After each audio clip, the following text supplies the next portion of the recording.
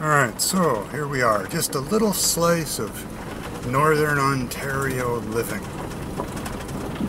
Just gone out, harvested some black stone. That was the sand pit where I've been getting all my sand for the construction. But just so you get an idea of how rough the road is. Do you hear that?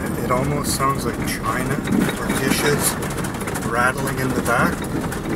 That's this black stone that I've been collecting. It's uh, very interesting. It, it often sounds like somewhere in the neighborhood of Flint to me. But there you have it. Now it sounds like China. Like I'm transporting some dishes. But I'm not. And so you wonder, like, okay, so why is this road here? This road to nowhere?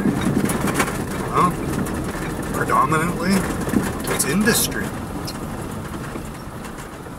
It's gravel, gravel pits, and it's forestry.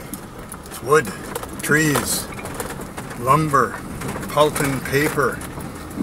A lot of that. A lot of a lot of tree harvesting.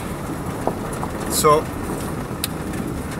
industry, I mean, some people, you know, oh, big business, big forestry. Yeah, yeah, there's probably some not the greatest practices going on in the business.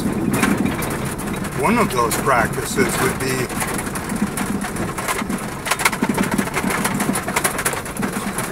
yeah, just a sec here, we're hitting really rough spot.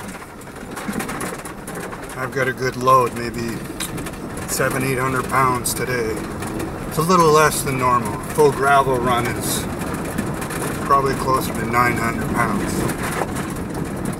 So, the forestry industry, with all its flaws, opened up these roads. And now I can access gravel and sand tons of people are camping, they're going out under ATVs, so I mean it opens things up. But on the downside, a couple of years back when I phoned all the various government authorities asking where could this particular Canadian citizen harvest a tree.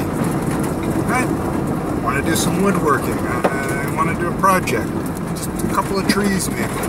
Nope all the rights for I don't know how far around. They're all uh, uh, they're not purchased so much as what did the government call them? Something like cooperative or steward or whatever. So the government sells these giant parcels of land, forestry rights, and I, the bottom line was that the government told me that I would need to approach the local private industry, right? The local business that has purchased the rights to harvest these trees. So it seems a little weird, you know?